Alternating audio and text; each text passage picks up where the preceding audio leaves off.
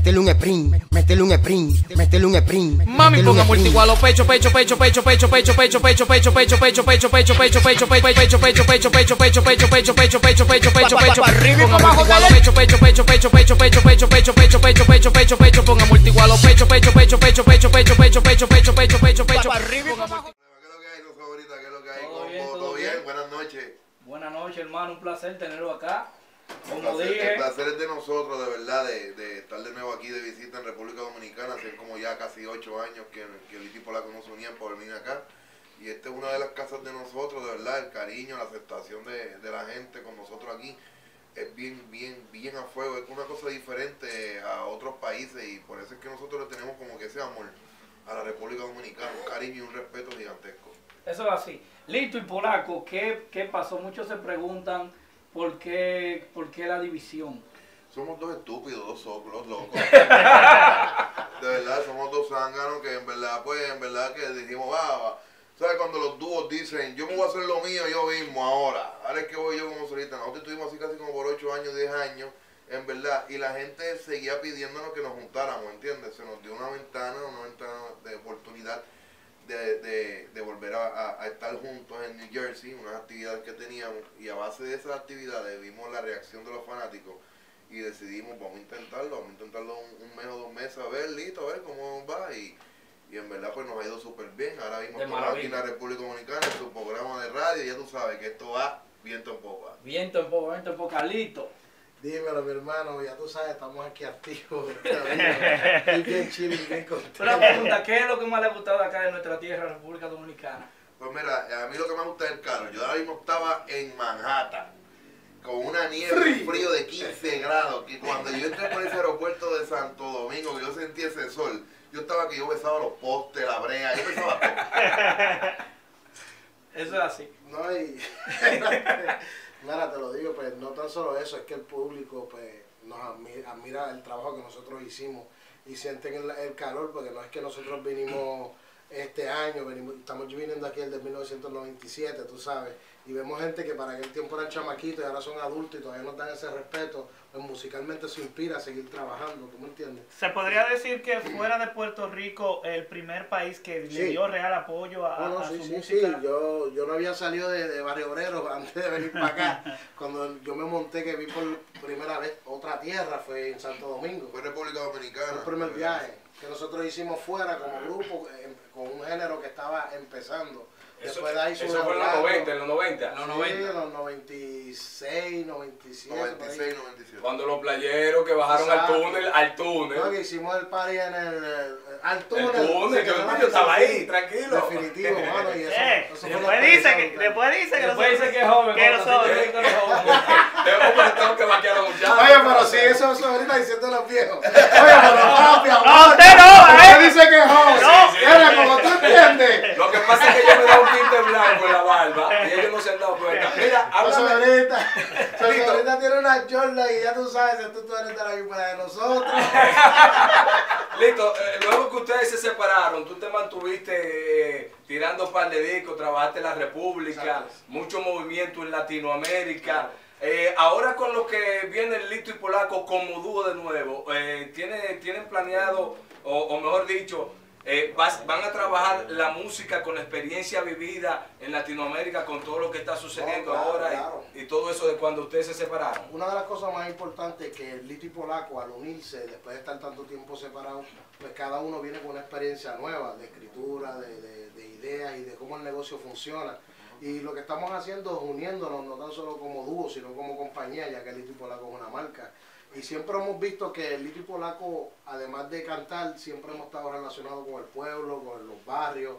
Y una de las intenciones de nosotros es poder, tú sabes, tener grupos nuevos en un futuro, crear ese combo, ese combo que represente lo que es Lito y Polaco, tener los artistas de nuestra compañía, tú sabes, y crear ese combo que antes en los tiempos era DJ Eric y la industria, antes era Pina Records, ahora el combo de Lito y Polaco, ¿tú me entiendes? Pero bien. Mira, una pregunta que... Y estamos muy suaves. ¿Qué hay con la tiradera? De... ¡Ay, Sí, Dios ay, Polaco! ay, sí, ¡Dilo, ay, Polaco! Vamos a darle el micrófono al. Háblame de eso, el Paula. A ustedes les gusta echarme todos los 20. Claro, claro. A la gente le encanta ver a Polaco guerreando. Sí, es muy fuerte. Háblame de Arcángel.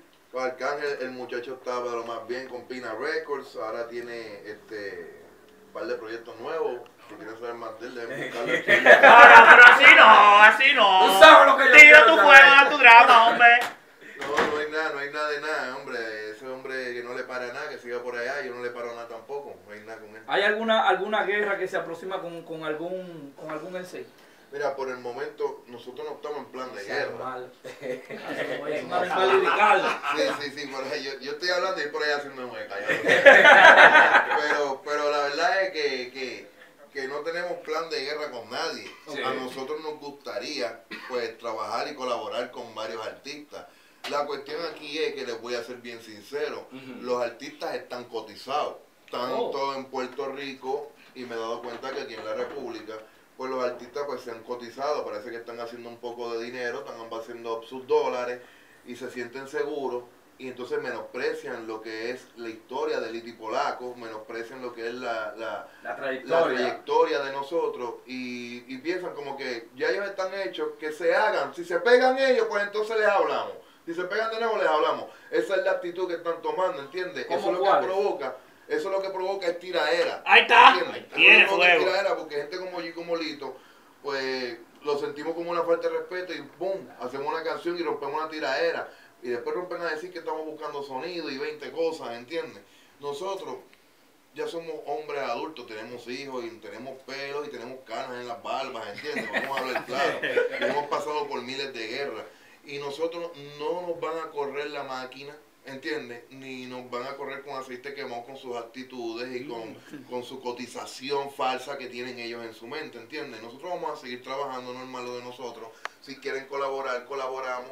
Si no quieren colaborar, pues que sigan su camino. Nosotros estamos seguros de lo que podemos hacer, ¿entiendes? Y mientras ninguno nos falte el respeto, va a estar la bandera blanca por ahí ondeando por ahí. Pero eh, eh, Es eh, ese cotice tú lo dices eh, con los artistas boricuas o con los mismos artistas dominicanos. No, eso yo lo digo con los artistas en general, ¿entiendes? general. Puertorriqueños, dominicanos, esto, aquí, no hay- aquí la nacionalidad es una cosa que no importa, ¿entiendes? Aquí es una Música, cuestión de ¿no? respeto a- artístico, ¿entiendes? Nosotros estamos aquí en la República y le damos su respeto a los artistas de aquí del patio, que nosotros ten- tenemos conciencia y sabemos que están matando la liga, ¿entiendes?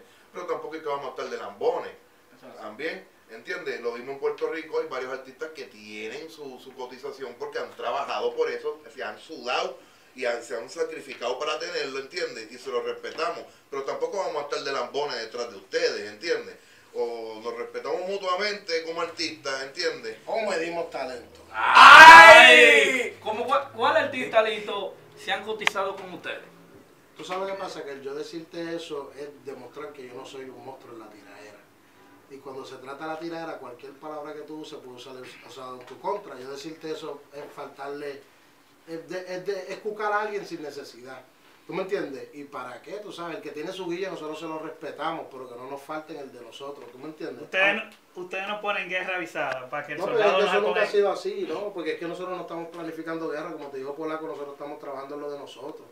Tú estás más enfocado trabajando en lo tuyo, es cuando más ataques tú recibes y más metidas de pie. Y tú enfocado en lo tuyo y de momento más puya y cuando te encuentras hay otros hablando eh, negativamente de lo que tú estás haciendo y uno dice, pero ven acá, si nosotros estamos enfocados haciendo hasta música romántica, colaboraciones con todo el mundo y ahí es que tú sientes que te estás Eso es metiendo el pie. O sea, sí. ¿Con cuál artista de acá local ustedes les gustaría hacer, les gustaría hacer una colaboración?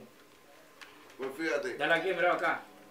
Pues fíjate, hay, hay varios de verdad. A, a- mí me encanta el mayor, ¿entiendes? El mayor tiene un flow y una cosa que, que desde la primera vez que lo escuché yo dije, ese hombre está duro, ¿entiendes? Me- Nos gusta Omega, co- compartimos con Omega la otra noche. Omega, el hombre le mete al flow de él también súper duro. Y hay varios más, ¿entiendes? Está Lapi Consciente, está Mozart La Para.